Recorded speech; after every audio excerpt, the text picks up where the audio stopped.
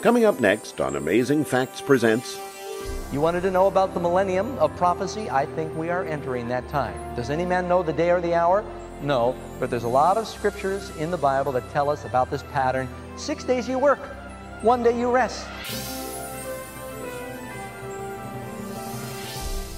For over 40 years, Amazing Facts has been dedicated to sharing God's Word through media. This program features highlights from some of our best television broadcasts. We invite you to sit back and enjoy this edition of Amazing Facts Presents.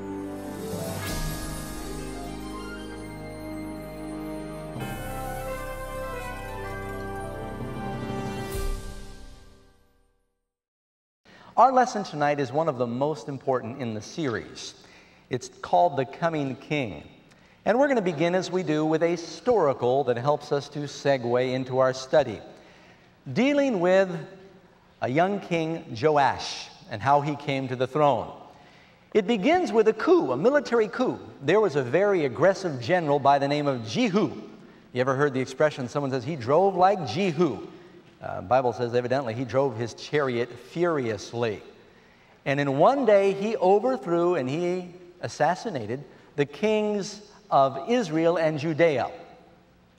Well, when that happened, the mother of Ahaziah, the king of Judea, when she found out her son was dead, she was so jealous for power, she did not want one of her grandchildren to be coronated in her place, did something very ruthless. It's almost unimaginable she executed all of her grandchildren. You know, I used to believe one of the strongest earthly emotions was that love of a mother for her baby. Uh, the older I get, I find out that the love of a grandparent is pretty strong too. This lady, this lady was very sick. You know who her mother was? You ever heard of Jezebel? The wicked queen of the northern kingdom. So she had a good teacher. And she killed all of the royal seed. She sent her soldiers before anyone could disobey her personal bodyguards in and had them butcher all of her son's children, her grandchildren. One of them managed to escape. The aunt of Joash and um, the nurse managed to take the little baby, he was one year old, and hide him in the temple of the Lord, where they kept him secured for seven years. That's a long time to go to church, isn't it? He was there actually six years. He stayed, he ended up being seven years old when he came out. Six years in the temple of the Lord. The high priest Jehoiada, who lived to be about 130 years of age, tutored him personally in how to be a good king and from the Word of God. Finally, the time arrived when young Joash was about uh, seven years old. They decided it was time to uh, present him to the people. They couldn't keep him hidden forever. And the, uh, they got the soldiers, they notified them, they brought out the king's son, King David's heir, and they showed him to the people. And they said, Set the soldiers about him, guard him. They blew the trumpets, and they anointed him as king there in the temple of the Lord. He came out. Well, Athaliah heard all the noise, and she heard all the ruckus. And uh, she came in, and Jehoiada said, Seize her, take her out, and execute her. The people rejoiced, the trumpets blew. Joash was surrounded with his armies, and he received his kingdom. She had ruled over the land six years. When he was seven years old, he took control of the kingdom. Now, that's a very important number that's going to appear. You know, the Bible tells us that our high priest is Jesus, and that he is in the heavenly temple right now. And soon he is coming out. He's at the right hand of the Father uh, in the heavenly temple. He is soon coming out of that temple, and the Bible says he's going to receive a kingdom. You read in Revelation that when he comes, he is going to execute the mother of harlots and all the false religious systems of the world that have opposed him when he comes. That's the Athaliah, so to speak, that you find in the book of Revelation. And her daughters, the Jezebel and her daughters, and he will take the kingdom. Now, friends, I'm going to share with you something called the 7,000 year theory. And this may take a few moments to explain, but once you capture this, you've been wanting to know something about the imminence of Jesus coming, and this is going to give you that information. Here, let me peel out a few extra notes that I had. I told you the birth of Christ was about 2004 BC, right? Creation, when you add up the ages in the Bible, I'm not going by the evolutionists and what they come up with. I'm saying if you just take the Bible in your hands and you start adding up the ages, it'll tell you Adam lived so long and he had Seth, and Seth lived so many years and he had Enos. And it gives you the chronology, and you can add all that up and get an idea of how old the earth is. It's often referred to as Bishop Ussher's chronology. He was one of the first ones to do a very precise analysis of this. When you add up the ages in the Bible, it puts creation at approximately 4004 BC. Now, if you've heard that date before, let me see your hands. I want some support here that I'm not the only one that's heard that date. It's just called Bishop Ussher's chronology. It's not any one denomination. It's accepted by most Bible scholars as a rough estimate for the time of creation. 2,000 years later, 2004 BC, Abraham was born. You've got 2,000 years from the creation to Abraham. Then you've got 2,000 years from Abraham to Christ. And what time was Jesus born approximately? 4 BC. Now, we don't know the exact date of his birth. I will tell you it was not December 25th. Don't get mad at me. But uh, we've got a lot of biblical, biblical support for that. You write down a question or you fax one in, and I'll give you the biblical evidence that Jesus was not born the 25th of December. Then we've got reason to believe that it's 2,000 years from Christ's first coming to his second coming. He came quietly the first time as a humble sacrifice, as our Savior. He's not coming quietly the next time. Now, this is called the 7,000 year theory. The reason for that is when you get to Revelation, it speaks of a thousand years when God's people live and reign with Christ. Do you see a pattern here? 2,000 years, God preaches the gospel through what we would call the patriarchs. See, we got a little chart up here. 2,000 years, the age of Adam, the fathers, the patriarchs, from 4004 BC to about 2004 BC. Then you've got the age of the Jews, the Israelites. Abraham was born 2004 BC, and you've got that age until 4 BC Christ is born, and that would reach to approximately 1997, 1996. And some of you are saying, well, it seems like he's late. Stay with me. Then you've got, the Bible says there's a thousand years where we live and reign with Christ, a thousand years of rest. One thing I want to make exceedingly clear Pastor Doug does not believe that anyone should be setting a date for the second coming of Christ. The Bible warns us against that. If I were you, I would avoid anybody who thinks they can pinpoint the day and the hour. Jesus does not want us to make our decisions to serve Him based on a train schedule. It needs to be a heart commitment. But he does want us to know when the time is near. Now, there's a pattern that you see many times in the Bible. First of all, you've got 6,000 years here, then 1,000 years during the millennium.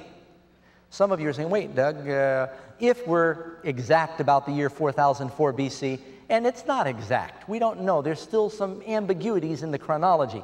Let me give you an example. The Bible says Noah lived 500 years and he had Shem, Ham, and Japheth, his three sons. It doesn't tell us when they were born in Noah's life. So there's a few years there we're not exactly sure of. So we can't put our finger on the date of creation, okay? Something else that you need to keep in mind is the Bible teaches very clearly that there is going to be an apparent delay just before Jesus comes back. How many of you remember the story in the Bible where Moses went up the mountain to get the Ten Commandments? Do you remember that? How, how long was he on the mountain?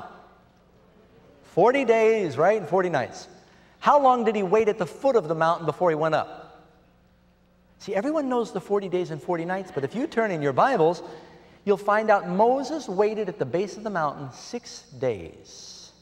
At the beginning of the seventh day, God called him up into the clouds. Is this starting to sound familiar?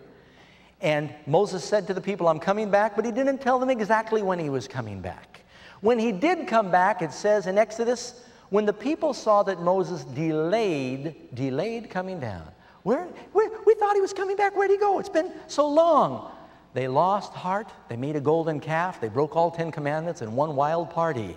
But then he came. There was an apparent delay, but then he came. Jesus says in Matthew 24, if that evil servant says in his heart, My Lord delays his coming, and begins to eat and drink with the, the lost and the drunken and live like the world, the master of that servant will come in a day he's not looking for him. He won't be ready. Some of you remember a parable in the Bible of the ten virgins. It says, When the bridegroom, that's talking about the coming of the Lord, while he tarried, they all went to sleep. Friends, I'll tell you, if there was ever a time in the history of the world when the church was snoring, you can hear it now. We're living in this era of delay. You can also read the prophecy in Habakkuk where it says, Though it appears to tarry, it will come. We're living in that window now, is my, my belief, friends. Right on the very threshold. The Lord is between inhaling and exhaling, and the next main event in the prophetic schedule is the coming of the Lord. Now, there's a few things left to happen we'll cover in future lessons. But there's a pattern here. Now, let me give you some stories in the Bible. There was a law among the Jews that they were to farm their land for six years. The seventh year, they were to leave it fallow to help the soil to recover its virility. How many of you remember reading that? Six years you farm it, then the seventh year it's dormant. You know, Jesus said, I'm the sower. The Word of God is the seed. For 6,000 years now, through the patriarchs and through the Hebrews and through spiritual Israel and the church, the seed of truth has been sown in the world. You know how Jesus is pictured coming in Revelation? With a sickle to harvest the earth. And then for 1,000 years, there's no more farming going on. There was another law that they had among the Jews that a Hebrew could have a servant among the Hebrews for six years. What happened at the end of six years? He was liberated, he was set free.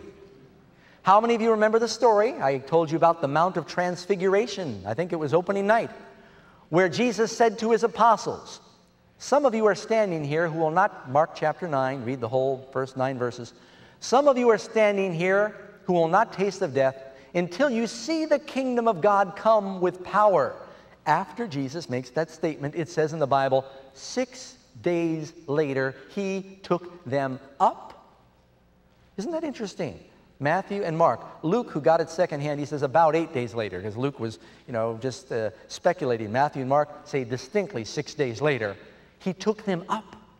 And what happened there? He was in the clouds. He was glorified as he will be when he comes. They were given a miniature picture of the second coming. I don't think we need to miss the point that the number six keeps appearing.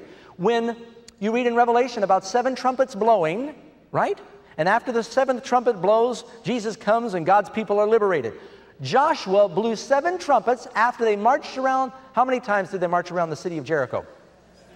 13 times. People always say seven times. They marched around the city one time for six days.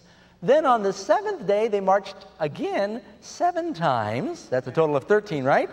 That adds up for one of the 12 tribes, one of each of the 12 tribes and the tribe of Levi, in case you didn't realize that. And then they took possession of the promised land. Well, soon we're going to take possession of the promised land. The trumpets are going to blow. And all these patterns in the Bible are telling us that there could be some credibility to this 7,000 year theory, friends. You wanted to know about the millennium of prophecy? I think we are entering that time. Does any man know the day or the hour? No, but there's a lot of scriptures in the Bible that tell us about this pattern. Six days you work, one day you rest. 6,000 years now. Oh, incidentally, 2 Peter chapter 3, verse 8, a day with the Lord is as a thousand years, and a thousand years as a day. Psalm 84, verse 10, thousand years in his sight are as a day when it is past. And you've got uh, Psalms 90 also. There's several verses that say, with the Lord, a day is like a thousand years. For 6,000 years, Jesus has been working to redeem this world. The Bible says that during the millennium, it's a time of peace where we live and reign with the Lord. It's like a thousand year Sabbath, you might say. The pattern is all through the Bible, friends. We are right now at the sundown of that last millennium. Don't pay attention to the year 2000 because the AD BC dating method, it's, it's not accurate. The Bible did not utilize that. But we do have signs, and we're going to cover some of those in our lesson. Let's go to question number one now. And uh, I have a lot to share with you tonight, and I want to make sure that I can get through the lesson. How many of you filled out your studies? Good for you. Did you learn some new things? You get an A plus. We're going to double your wages for coming to this meeting. Now you can come free. How's that sound? Question number one Who is the king who will emerge from the heavenly temple? Answer, and remember, you're supposed to say the answers with me. Revelation 14 4, And I looked, and behold, a white cloud, and upon the cloud one sat like the Son of Man, having on his head a golden crown. You wanted to know who the Son of Man was there in Daniel 7. Well, right there in Revelation, it tells us Jesus, and he's coming to harvest the earth. One like the Son of Man is coming. Now, we're going to spend the next few questions talking about not when Jesus is coming, but how Jesus is coming. And some of you are going to go, I don't want to know how he's coming, I want to know when. Friends, you need to know how. Let me tell you why. When Christ comes again, it's called the second coming. You know what that means? There was a first coming. When he came, when the Messiah, when God became a man 2,000 years ago to show us how to love each other, to show us the Father, to die as our sacrifice, that was his first coming. His own people, my people, had the scriptures. They had the prophecies about the Messiah and his coming. But did the majority of his people recognize him when he came the first time, or did they misunderstand the prophecies about his first coming so they were not prepared? Is there a chance that God's people, with Bibles, with scriptures, could misunderstand the prophecies about his second coming? I'm going to promise you that the majority of the world will not be prepared because the Bible says so. Indeed, the majority of the church will not be prepared because we want it to happen a certain way, and if it doesn't fit in with our ideas, we don't accept it. We've got to find out what the Bible teaches, what the prophecies teach. Do you agree? So it's important to know how he's coming. Now, that's one reason. So you're ready when he does come. The other reason is the Bible tells us that Satan is going to perform his masterpiece of deception. God came to earth in the form of man to save. The devil is arguing with the Almighty. He says, I need to have the right to come in the form of a man to share my viewpoints. The devil is going to come as his great crescendo performance and impersonate Jesus.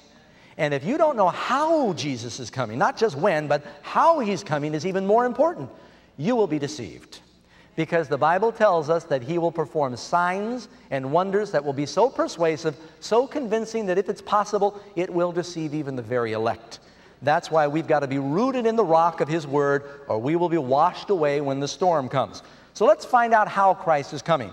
Question number two Will Jesus come quietly when He returns? No. The answer says, For the Lord, and this 1 Thessalonians 4:16, for the Lord himself shall descend from heaven with a shout, with the voice of the archangel, and with the trump of God. Trumpet was the loudest thing they had back then that man made noise, a shout and a trumpet. Jeremiah chapter 25, verse 30. The Lord shall roar from on high and utter his voice from his holy habitation. He shall mightily roar upon his habitation. He shall give a, a shout. Talking about roar, shout, trumpet. That's not all. Psalms 50, verse 3. Our God shall come and shall not keep silent. It shall be very tempestuous. That means stormy round about him. Now, maybe I should pause right here before I offend anybody, make a little disclaimer, little statement. I have preached in literally hundreds of different churches with many different denominations, and I am pretty well acquainted with what the different beliefs are out there. One of my favorite things is I like to surf religious broadcasts Sunday morning on the TV or on the radio and listen to what's being taught out there. So I have a pretty good feel. And again, I want to restate, I believe God has spirit-filled people in many different churches, many different persuasions, people that love Him, that He loves, okay? And He's working in their lives. That doesn't mean I agree with all the teachings. There is a very popular teaching that I don't think is biblical that when the Lord comes, that the rapture is going to be silent and secret. I don't find that in the Bible. Stay with me now and see what you find. If you disagree with me, let's be agreeable about it. Does that sound fair?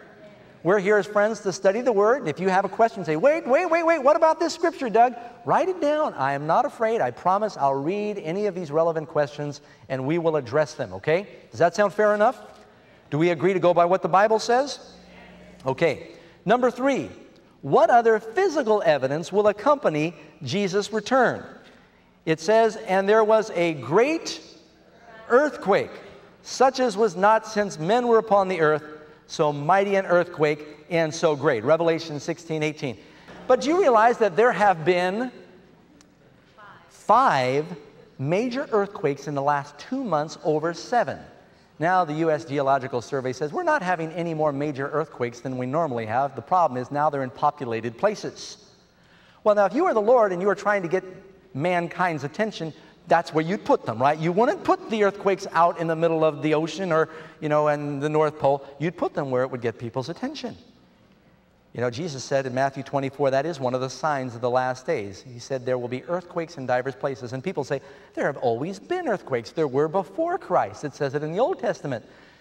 Jesus said there'll be wars and rumors of wars and plagues and earthquakes and natural disasters. But keep in mind, Christ, when he said that, he's talking about a confluence and a concentration of these things, a greater intensity. Now, I, I read a statistic that said that between 19, 1900 and 1960, there was typically one major earthquake every 10 years. From 1960 to the present, there are now between 8 and 10 major earthquakes every year. Does that sound like an increase to you? It does to me. And the natural disasters. Well, I'll get to that in just a minute. And so a mighty earthquake is another sign of the event. Number four, question number four. Who will see Jesus when he returns?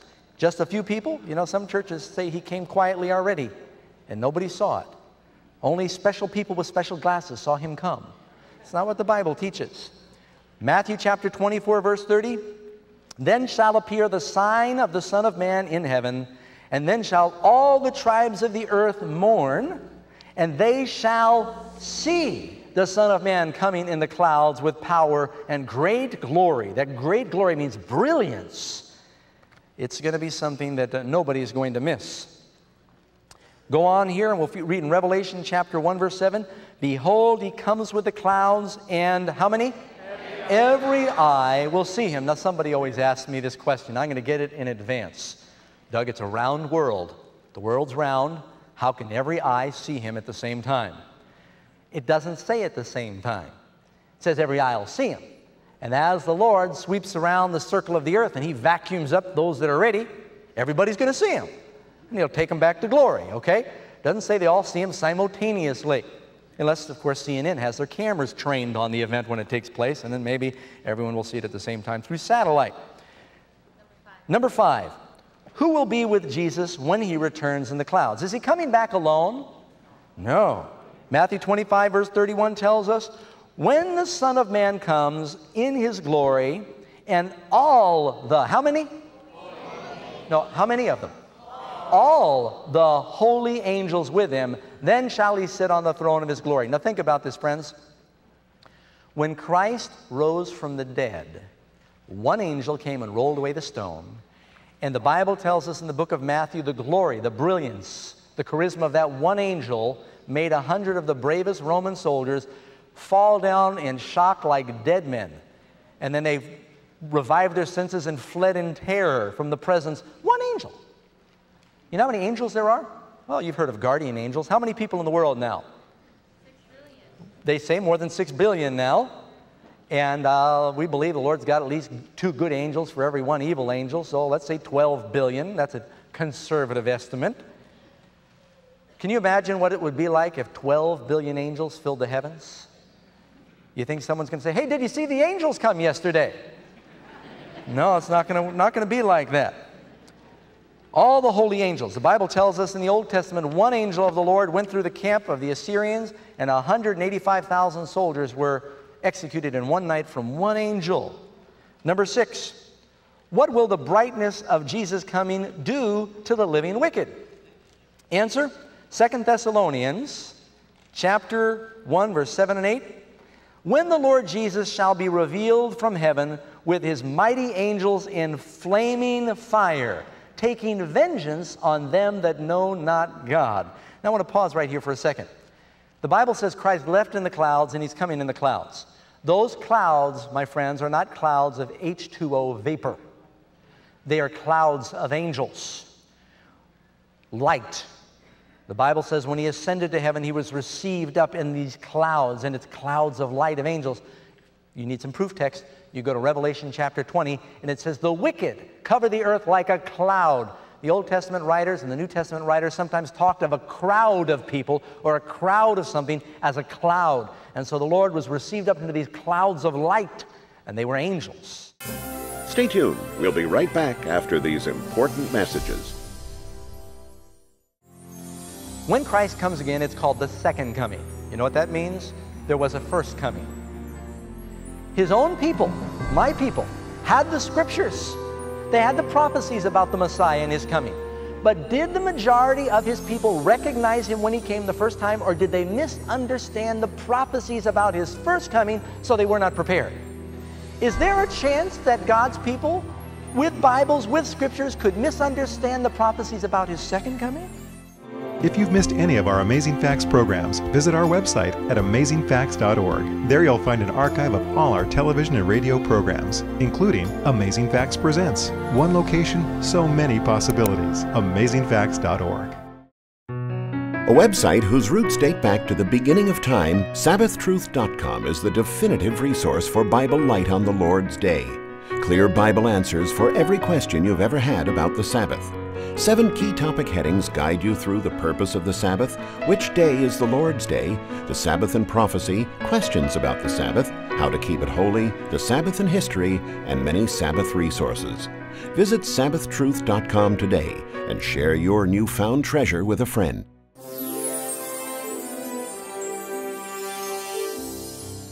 Friends, the Bible tells us that we have a spectacular homecoming to look forward to in the very near future. The scriptures clearly describe an awesome, earth shaking event as Jesus returns to take his people home. For the saved, it'll be the most joyous occasion imaginable. For others, it will be terrifying. That's why God wants you to be ready for the day of the Lord. Yet there are many confusing and counterfeit teachings regarding how Jesus is coming. You can learn the truth about this phenomenal event in a book that we prepared for you. It's entitled Ready or Not. You won't want to miss out on what this book reveals regarding what is really going to happen when Jesus returns. We'll send this amazing book to you for a donation of $20 or more. Please call the toll free number on your screen and ask for offer number 1002. Or go to our website, it's amazingfacts.org. If you prefer, you can write us Amazing Facts, offer 1002. P.O. Box 1058, Roseville, California 95678. Well, time is up for this edition of Amazing Facts Presents. Until we meet again, remember, Jesus is the truth that will set you free. This is your opportunity to take advantage of this week's special offer. Just call the toll free number on your screen and be sure to note the offer number when you make your request. You may also visit our website at amazingfacts.org. Thank you for watching Amazing Facts Presents.